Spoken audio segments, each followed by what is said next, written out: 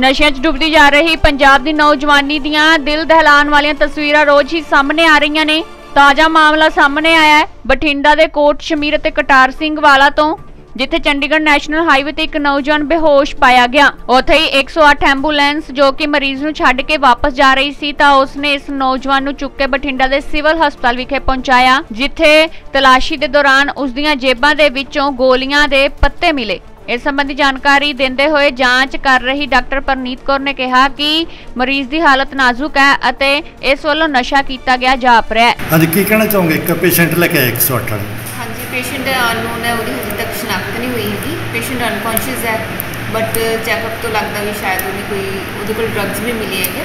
ਕੋਈ ਓਵਰਡੋਜ਼ ਹੋ ਸਕਦਾ ਹੈਗਾ। ਜਿਹੜੇ ਉਹ ਮੈਡੀਸਨ ਮਿਲੀ ਕੋਈ ਨਸ਼ਾ ਹੀ ਉਹਦੇ ਚ ਵੀ ਹੈ ਉਹ ਵੈਸੇ ਮੇਨਲੀ ਨੀਂਦ ਵਗੈਰਾ ਜਾਂ ਐਂਟੀ ਕਨਵਲਸੈਂਟ ਯੂਜ਼ ਹੁੰਦੀ ਹੈਗੀ।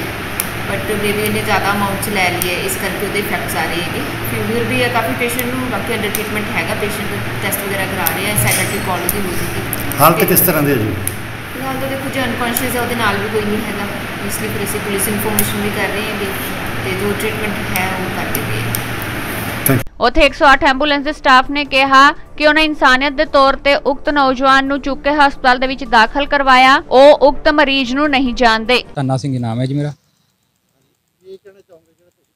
ਜੀ ਅਸੀਂ ਬਠਿੰਡੇ ਪੇਸ਼ੈਂਟ ਡ੍ਰੌਪ ਕਰਕੇ ਆਪ ਜੀ ਲੋਕੇਸ਼ਨ ਮੋੜ ਮੋੜੀ ਵਾਪਸ ਜਾ ਰਹੇ ਸੀ। ਸਾਨੂੰ ਅਸੀਂ ਰਸਤੇ ਜਾ ਰਹੇ ਸੀ ਸਾਨੂੰ ਲੱਗਿਆ ਜੀ ਇੱਕ ਪੇਸ਼ੈਂਟ ਗਿਰਿਆ ਹੋਇਆ ਸੀਗਾ। ਅਸੀਂ ਉਹਨੂੰ ਦੇਖਿਆ ਉਹਦੇ ਵਾਈਟਲ ਵਗੈਰਾ ਚੈੱਕ ਕੀਤੇ। ਕੋਈ ਆਇਡੈਂਟੀ ਵਗੈਰਾ ਮਿਲੀ ਨਹੀਂ ਜੀ ਉਹਨਾਂ ਦੇ ਕੁਝ ਟੈਬਲੇਟ ਵਗੈਰਾ ਮਿਲੀ ਹੈ ਉਹਨਾਂ ਦੀ ਮੈਡੀਸਿਨ ਮਿਲੀ ਹੈ। ਅਸੀਂ ਉਹ ਪੇਸ਼ੈਂਟ ਨੂੰ ਇਨਸਾਨੀਅਤ ਤੌਰ ਤੇ ਸਿਵਲ ਹਸਪੀਟਲ ਬਠਿੰਡਾ ਦਾਖਲ ਕਰਵਾਤਾ ਜੀ। ਹਾਲਤ ਸਰ ਕ੍ਰਿਟੀਕਲ ਹਾਲਤ ਹੈ ਜੀ। ਅਨਨੋਨ ਪੇਸ਼ੈਂਟ ਹੈ ਜੀ ਕੋਈ ਰਿਲੇਟਿਵ ਹੈ ਨਹੀਂ ਜੀ ਅਨਕੌਂਸ਼ੀਅਸ ਪੇਸ਼ੈਂਟ ਹੈ ਜੀ। ਨਹੀਂ ਕੋਈ ਪ੍ਰੂਫ ਨਹੀਂ ਮਿਲਿਆ ਜੀ। ਅਸੀਂ ਸਾਡੇ ਕੋਲ ਕੋਈ ਕੋਲ ਨਹੀਂ ਆਈ ਜੀ। ਅਸੀਂ ਆਪਦੀ ਇਨਸਾਨੀਅਤ ਤੌਰ ਤੇ ਲੈ ਕੇ ਗਏ ਹਾਂ ਜੀ ਉਹਨਾਂ ਨੂੰ। ਬਠਿੰਡਾ ਤੋਂ ਨਾਇਬ ਸਿੰਘ ਸਿੱਧੂ ਦੀ ਰਿਪੋਰਟ।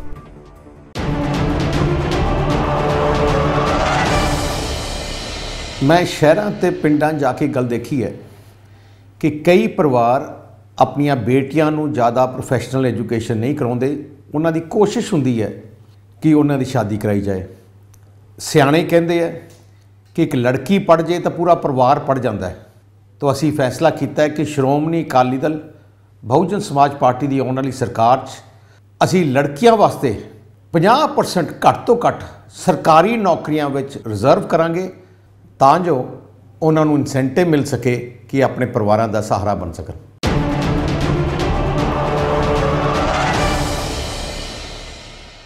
ਦੇਸ਼ ਦੁਨੀਆ ਦੀਆਂ ਤਾਜ਼ਾ ਖਬਰਾਂ ਦੇ ਲਈ ਹੁਣੇ ਪਲੇ ਸਟੋਰ ਤੋਂ ਡਾਊਨਲੋਡ ਕਰੋ ਪੰਜਾਬ ਦੀ ਆਵਾਜ਼, ਅਜੀਤ ਨਿਊਜ਼ ਐਪ। ਹੁਣ ਤੁਹਾਡਾ ਆਪਣਾ ਅਜੀਤ ਹਰ ਸੋਸ਼ਲ ਮੀਡੀਆ ਪਲੇਟਫਾਰਮ ਦੇ ਉੱਤੇ ਉਪਲਬਧ ਹੈ। ਫੇਸਬੁੱਕ ਦੇ ਉੱਤੇ ਹੁਣੇ ਲਾਈਕ ਤੇ ਫੋਲੋ ਕਰੋ ਅਜੀਤ ਦਾ ਅਫੀਸ਼ੀਅਲ ਪੇਜ ਡੇਲੀ ਅਜੀਤ ਤੇ ਹਾਂ, ਨਾਲ ਹੀ ਦੋਸਤਾਂ ਨੂੰ ਪੇਜ ਲਾਈਕ ਕਰਨ ਦੇ ਲਈ ਇਨਵਾਈਟ ਕਰਨਾ ਨਾ ਭੁੱਲਣਾ। ਇੰਨਾ ਹੀ ਨਹੀਂ, ਹਿੰਦੀ ਦੇ ਵਿੱਚ ਖਬਰਾਂ ਵਾਸਤੇ ਲਾਈਕ ਤੇ ਫੋਲੋ ਕਰੋ ਸਾਡਾ ਫੇਸਬੁੱਕ ਪੇਜ ਅਜੀਤ ਸਮਾਚਾਰ ਹਿੰਦੀ।